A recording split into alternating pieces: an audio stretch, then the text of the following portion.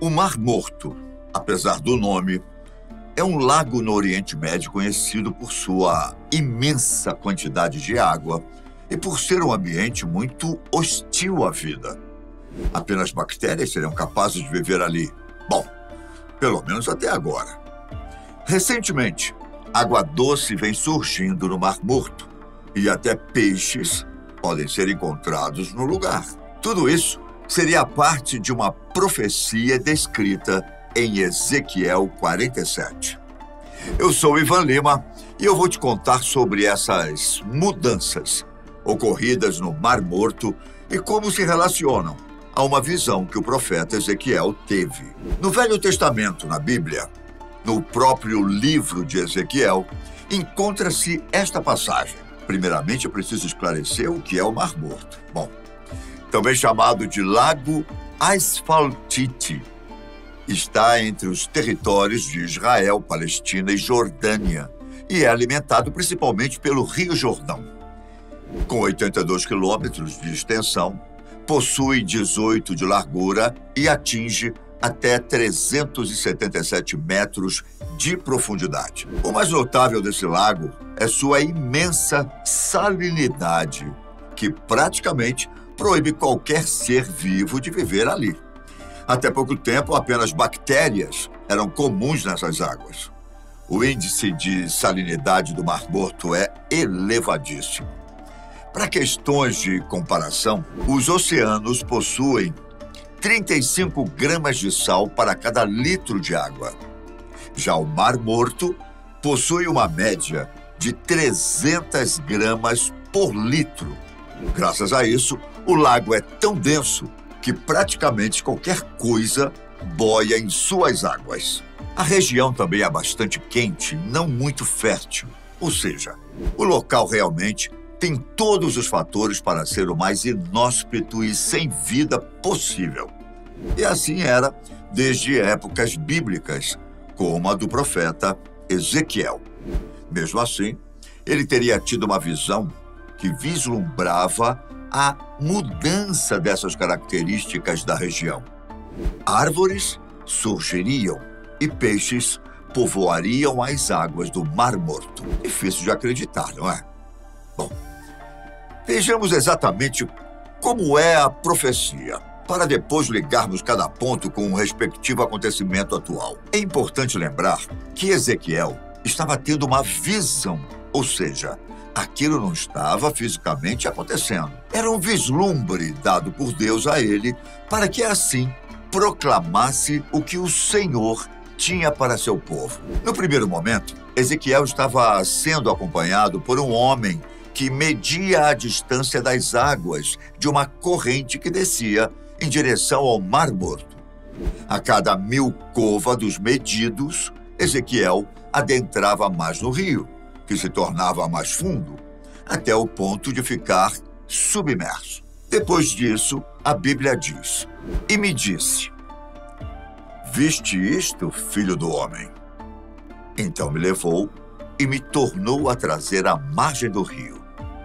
Tendo eu voltado, eis que à margem do rio havia grande abundância de árvores, de um e de outro lado.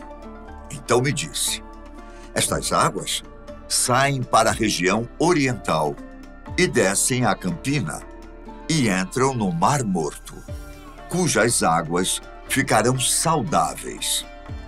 Toda criatura vivente viverá por onde quer que passe este rio, e haverá muitíssimo peixe. E aonde chegarem estas águas, tornarão saudáveis as do mar, e tudo viverá por onde quer que passe este rio. Na praia deste mar estarão pescadores. Eles estenderão suas redes desde Engade até Engalim, e haverá aí peixes de toda espécie em abundância, como no grande mar.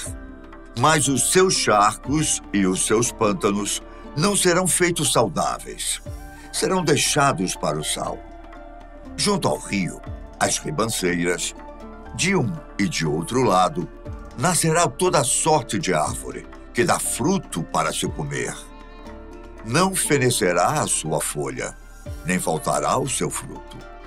Nos seus meses, produzirá novos frutos, porque as suas águas saem do santuário.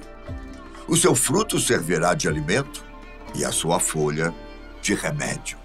Há ainda mais coisas durante a visão, mas esses trechos selecionados já são suficientes para entendermos a situação. Basicamente, durante a visão, Deus prometeu que um rio desembocaria no Mar Morto e que, apesar das margens continuarem lamacentas, haveria plantas ali e peixes no lago. Se você olhar para as margens do Mar Morto e a região hoje, verá que existem sim plantações por lá. Uma das árvores que podem ser encontradas é a tamareira, uma palmeira importante na história e também na cultura dos povos que habitaram o Oriente Médio. Pode ser já uma parte da profecia se cumprindo, não? Agora, outra parte que diz respeito à passagem de Ezequiel é a formação dos bolanes. Com o passar do tempo, o lago salgado começou a diminuir seu nível e a literalmente secar. Águas de outros lugares, principalmente de Jerusalém, começaram a descer rumo ao Mar Morto a partir dos anos 80. A água da chuva entra no subsolo, entra nos aquíferos e corre até chegar ao Mar Morto. Foi assim que surgiram os bolanes, crateras contendo água doce no lago. A água doce que chega dissolve a terra e o sal, que está presente nas águas ali há milhares de anos. Com a dissolução, o chão do fundo do lago vai se desfazendo e assim as crateras surgem. Essas crateras são chamadas de bolanes, que ficam cheias de sal das camadas antigas de terra que foram dissolvidas com o tempo. Hoje, já existem milhares de bolanes ao longo do Mar Morto e praticamente todos os dias novos surgem. A maioria deles, coincidentemente, aparecem no território de Israel, sendo poucos os que surgem em terras da Jordânia. Todas essas características são monitoradas por satélite e tornam possível a visualização de bolanes tanto de água salgada quanto de água doce.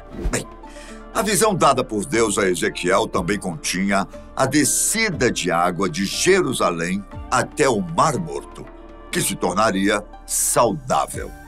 Há partes que esse fluxo é tão volumoso que é possível entrar nas águas e nadar. É aí que vemos a parte mais impressionante de cumprimento da profecia. Existem bolanes repletos de água doce e, por isso, mais formas de vida foram capacitadas, finalmente, a habitar o lago antes inóspito. Em alguns deles, diversos peixes pequeninos já vivem, alimentam-se e prosperam. Mas não só isso. Algas e plantas aquáticas também surgiram nesse novo ambiente amigável. Um verdadeiro ecossistema com animais e plantas macrocelulares surgiu em pleno Mar Morto, ajudados pelo fato dos bolanes serem preenchidos com água doce. Outros animais, como pássaros, também frequentam mais a região, a fim de beberem das poças e correntes que possuem águas menos salgadas. É fascinante, não é? Lembra-se da parte que dizia: Mas os seus charcos e os seus pântanos não serão feitos saudáveis? Serão deixados para o sal? Pois é. As margens dos bolanes seguem cheias de sal e com muita lama, bem parecido com o que promete a profecia. Ainda assim, javalis também se achegam às fontes de água para poderem matar sua sede. Parece ser o início de uma explosão de vida no Mar Morto, que já não parece tão morto assim, e que também nunca foi um mar, mas sim um lago. Porém, há também outras opiniões acerca do que vem acontecendo no local. Segundo a BBC, os poços são resultados da escassez de água. O motivo seria o desvio de afluentes do Mar Morto para fins agrícolas e para obtenção de água potável para o povo israelense. Outro motivo para degradação seria a mineração que ocorre ali por perto. Algumas organizações ambientalistas atribuem tudo a uma falha na gestão hídrica. Tudo é muito instável no Oriente Médio, politicamente falando, e isso faz com que acordos internacionais sejam difíceis, até mesmo aqueles que serviriam para frear o retrocesso do Mar Morto. A situação também é perigosa para quem anda pela região sem ter muito conhecimento de onde está. É possível que o solo se desfaça bem abaixo de onde a pessoa esteja e ela simplesmente caia em uma enorme cratera. Quando a água se esvai ali, uma milenar e gigantesca camada de sal da Terra acaba sendo exposta. E aí, quando esse sal se dissolve, o solo pode colapsar. Tudo isso sem dar nenhum aviso. Assim surgem as crateras, que podem ser bastante profundas. Bom, mas o fato é que há água doce no Mar Morto e sim, a vida está proliferando por lá. Existe também a possibilidade de que Ezequiel não estivesse vislumbrando algo do futuro ou físico propriamente.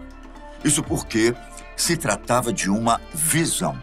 Ou seja, as imagens e figuras mostradas por Deus a Ezequiel eram simbólicas e carregadas de sentido, não querendo dizer necessariamente acontecimentos concretos como os ali mencionados.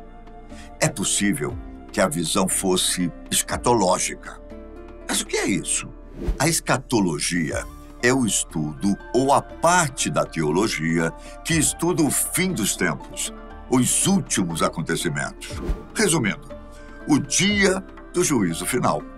A visão de Ezequiel retrata um novo e reformado Templo de Jerusalém, que seria parte da Nova Jerusalém, retratada simbolicamente nos novos céus e na nova terra do Apocalipse onde os salvos por Jesus Cristo viverão para sempre.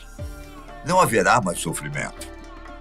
Árvores, plantações e águas cheias de vida são descrições bem plausíveis para a Terra Santa de Apocalipse. Enfim, no final de tudo, Ezequiel também poderia estar falando tanto dos últimos dias quanto dos acontecimentos no Mar Morto de hoje em dia. Afinal, Deus sabe de tudo. Qual a sua opinião? Acha que os acontecimentos no Mar Morto são parte do cumprimento da profecia de Ezequiel 47? Deixe seu comentário aqui embaixo. Não esqueça de curtir, se gosta de curiosidades e fatos religiosos. Inscreva-se no canal. Eu fico por aqui. Te vejo na próxima. Fique com Deus. Um grande abraço.